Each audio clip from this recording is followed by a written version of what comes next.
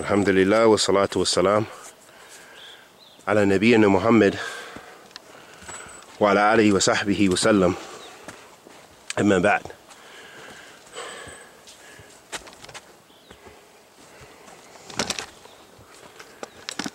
We can never get enough reminders about ikhlas lillah subhanahu wa ta'ala and the importance of having sincerity in our deeds. This is why the Prophet ﷺ said, Inama a'mal bin niyat. Verily, actions are tied to the intentions.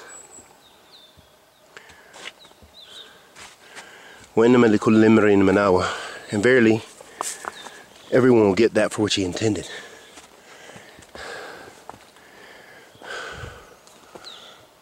So all of our deeds in Islam should be done for Allah Ta'ala. To please Him, to worship Him, subhanahu. And all of our deeds in Islam should be in accordance with the Sunnah of the Messenger of Allah Sallallahu Alaihi Wasallam. Very, very simple principles to understand. However, the practice of sincerity to Allah can be difficult for many. And this is why a lot of the Salaf would say one of the hardest things that they had to overcome or deal with and fight was within themselves having sincerity to Allah. And that ikhlas lillah, that you're doing your deed strictly for the pleasure of Allah subhanahu wa ta'ala, is no easy task. It's easy not to fall into worshiping rocks and trees, seeking blessings from them. We, we know that, especially here for those of us who came to Islam, who left other faiths in order to come to that which is pure based on the worship of Allah alone. But unfortunately, many of our brothers and sisters and many, much of the Muslim world took for granted what Allah gave them and fell into seeking blessings from rocks and stones. So don't think that it's something strange. You'll find it still going on in many places. You'll find it in Ethiopia. You'll find it in Muslim lands like people seeking blessings from the graves in Egypt as we speak. Not only they're having a, re- a revolt and re- rebellion, but there's also some people who seek blessings from the graves in the dead saints. And the same with Yemen and Hadramaut and other than Hadramaut. People who still seek blessings from their wali, living and dead. Those people who died, they seek reward and favor from them. And from the living, from their sheikhs.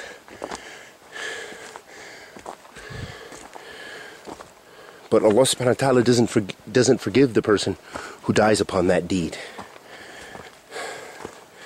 The deed of shirk, of worshipping other than Him subhanahu, and associating partners with Him, seeking blessings from other than Him subhanahu. Allah subhanahu wa ta'ala says, في كتابه الكريم إن الله لا يغفر أن يشرك به ويغفر ويغفر ما دون ذلك لمن يشاء Verily Allah does not forgive that you commit shirk with him. But he forgives other than that for whomsoever he pleases. Allah subhanahu wa ta'ala says, وَاعْبُدُوا اللَّهَ وَلَا تُشْرِكُوا بِهِ شَيْئًا And worship Allah وَلَا تُشْرِكُوا بِهِ شَيْئًا Worship Allah alone. do not associate partners with Him, subhanahu. That's the wadifa of the believer. That's the belief of Ahl Iman, of the Muslims. That's what Ahl Sunnati wal Jama'ah calls to. Is to worship Allah subhanahu wa ta'ala alone. To have sincerity, ikhlas. And be away from shirk. Allah commands us and shows us that that's the sunnah. That's the sunnah of the Anbiya, of the Prophets, alayhim after salatu wasalam. قال الله سبحانه وتعالى في كتابه الكريم ولقد بعثنا في كل أمة رسولا أن نعبد الله واجتنبوا تاغوت that we sent to every uh, every nation a messenger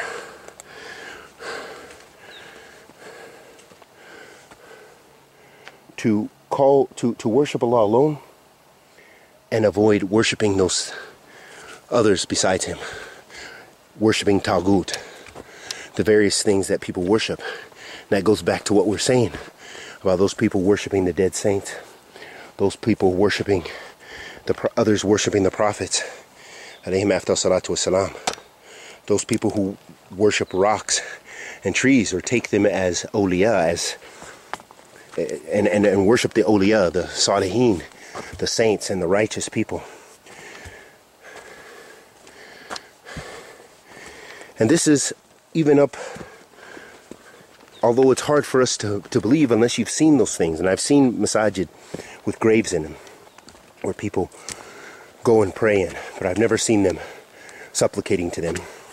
And it's well known that this happens, and many people have witnessed it it's hard for us to believe that and, and, and see that. But it just goes to show you that as the ulama say, a very important principle, that the truth or the reality of something is not in its name, but it's in its its reality. So for example, although you have people, they say La ilaha illallah, wa anna Muhammad Rasulullah, so they bear witness that there's no God worthy of worship and they say Muhammad ibn Abdullah sallallahu alayhi wasallam is the last prophet and messenger alayhi salatu wasalam. But what they do in reality, what they worship in reality, regardless of the fact that they say this, is that they worship other than Allah subhanahu wa ta'ala. That they commit shirk they go against Tawheed. They negate Ikhlas because they supplicate to the dead. During the time of the Prophet ﷺ, the mushrikun, the pagans of Quraysh, they used to hang their weapons on a tree called Dhat al-Anwat, uh, Dhat al-Anwat. And they used to seek blessings.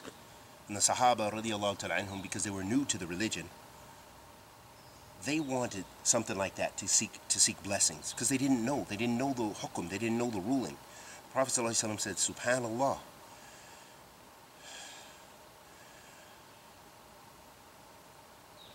He said, Glorified be to Allah. He was amazed at this. And he said, Verily you have said what Musa said to his people. And he said that you would follow the way of those who came before you. So we have to, as an ummah, beware of shirk. And, and know what shirk is, and know what tawheed is, and know that we can't worship other than Allah subhanahu wa ta'ala. He's the only one worthy of worship. La ilaha illa, there is no God worthy of worship except Allah. And verily I was one of the wicked sinners. I was one of the zalimeen. So may Allah forgive us of our sins. May Allah bless us with ikhlas with the bat. وصلى الله وسلم على نبينا محمد وعلى آله وصحبه وسلم